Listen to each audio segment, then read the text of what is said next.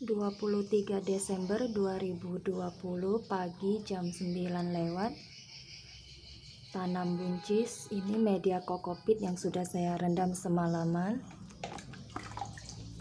Lembabkan seperti ini dengan air baku. Saya gunakan air hujan setiap pagi hingga benih tumbuh Langsung saya tempatkan di area ini terkena sinar matahari dari jam 7 pagi hingga jam 12 siang. 26 Desember 2020 sore jam 5 pindah tanam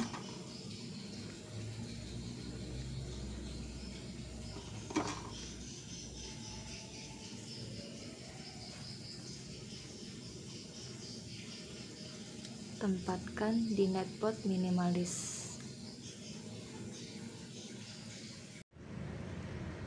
Langsung saya tempatkan di mini GH AB mix daun ppm 400 pH kisaran 6 area ini terkena sinar matahari dari jam 7 pagi hingga jam 5 sore. Persiapan tempat tanam saya gunakan box styrofoam bekas seperti ini ukuran 60 kali 40 cm kurang lebih. Saya lapisi dengan terpal yang bagus, terpal tarpaulin. Ini autopot alawina saya tempatkan dengan diberi penyekat dengan pipa PVC ukuran 4 inci tinggi kurang lebih 8 cm sudah saya potong seperti ini modelnya. Fungsi autopot alawina adalah pengairan otomatis dengan genangan tetap kurang lebih satu setengah hingga 2 cm genangan air baku. Dalam hal ini saya gunakan air hujan. Lalu di samping box styrofoam ini sudah saya beri lubang tinggi kurang lebih 3 cm sedikit di atas genangan air autopot alawina. Saya beri dua lubang. Jikalau hujan air berlebih akan keluar lewat sini. Sekarang saya isi dengan media tanam ini namanya hidroton. Sudah saya isi penuh dengan media hidroton. Saya jelaskan kembali media hidroton ini untuk pemakaian jangka panjang sangat menghemat biaya menanam. Bahkan saya perkirakan untuk pemakaian lebih dari 10 tahun pun selama di rawat dengan benar media hidroton ini masih bisa digunakan terus-menerus. Sekarang saya beri penutup. Tutupnya saya lapisi dengan plastik mulsa. Di pinggirnya saya beri lubang untuk sirkulasi udara seperti ini, lubang-lubang kecil saja. Lubang untuk lubang tanam berapa banyak untuk satu box styrofoam itu untuk satu box styrofoam itu tergantung um, jenis tanaman yang ingin ditanam. Dilihat dari 3 Januari 2021 pindah tanam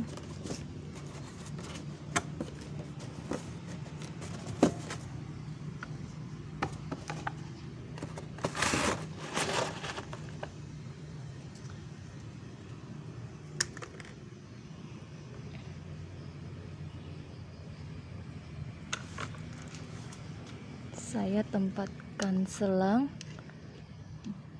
tepat mengenai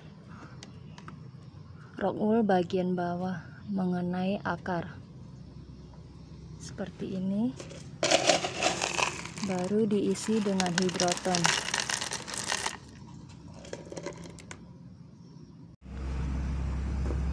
Selesai pindah tanam saya beri tetes satu titik dengan kode D6 ini sudah saya ikat tali untuk kerambatan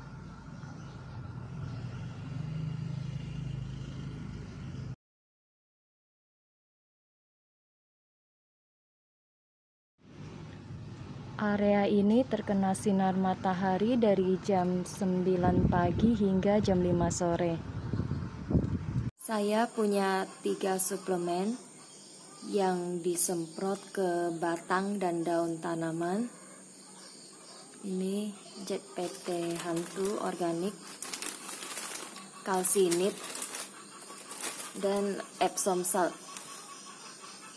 Jadi ini saya campur ke 5 liter air. Cara campurnya yang ini sebanyak 10 ml ke 5 liter air, kalsinit 2 sendok makan, Epsom salt 2 sendok makan. Jadi ini tidak diberikan sekaligus. Saya semprot secara bergilir setiap minggu dan diulangi berurutan. Jadi misal ini minggu saya mulai minggu pertama dengan ZPT hantu, minggu kedua dengan kalsinit, minggu ketiga Epsom salt, lalu minggu keempatnya saya ulangi lagi dari awal. Seperti itu. 25 Januari 2021 pagi jam 7 lewat sudah berbunga Mulai hari ini saya beri AB mix buah dengan rincian sebagai berikut.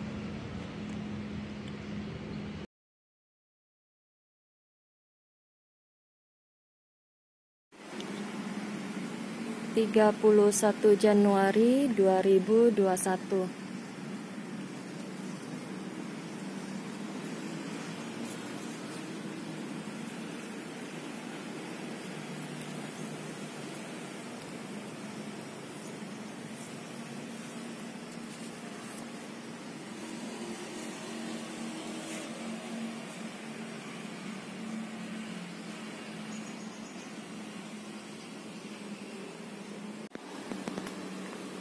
6 Februari 2021 pagi jam 7 lewat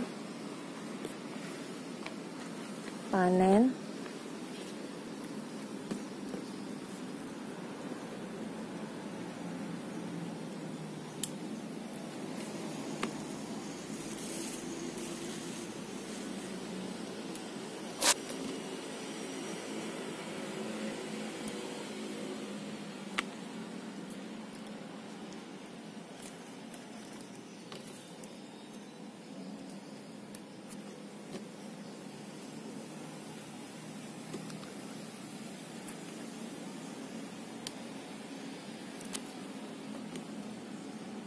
kalau mau makan muda panen yang lebih kurus yang lebih kecil seperti ini. Sekarang saya akan sekalian panen tomat.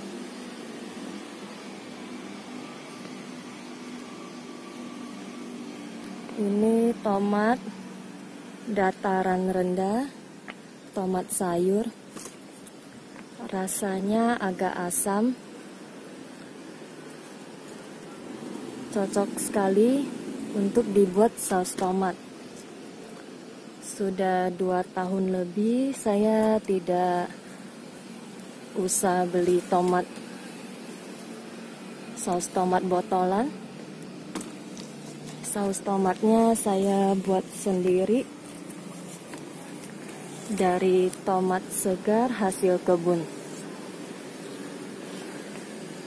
Satu pohon ini cukup jago berbuah. Kemarin saya coba hitung satu pohon buahnya ada sekitar 40 lebih. Ini di atasnya tumbuh lagi berbuah lagi yang kecil-kecil. Jadi saya perkirakan satu pohon ini bisa berbuah sekitar 50 hingga 60 buah.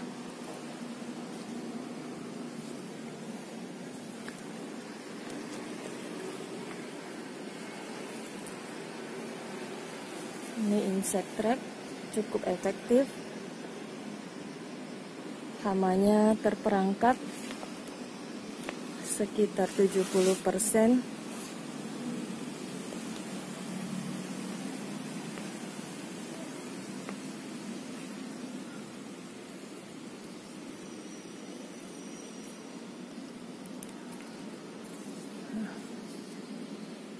puas sekali menanam tomat jenis ini.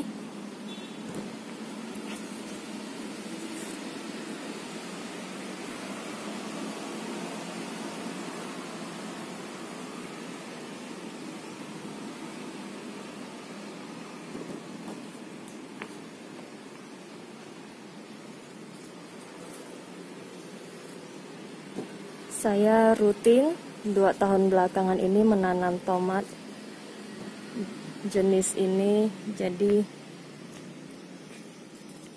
selalu ada yang bisa saya panen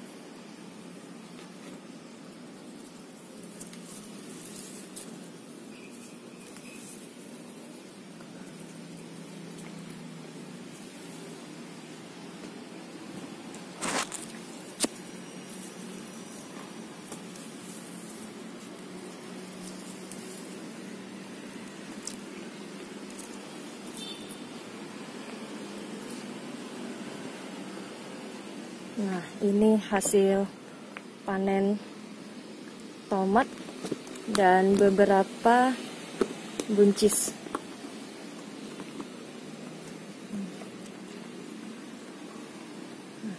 Saya closing untuk menanam buncis. Jika buncis ini dirawat dengan baik, akan bisa dipanen terus-menerus hampir setiap hari selama 2-3 bulan ke depan. Sekian sobat tentang menanam buncis. Syukur kepada Tuhan berhasil hingga panen. Jika Tuhan mengizinkan, sampai jumpa lagi di episode menanam lainnya.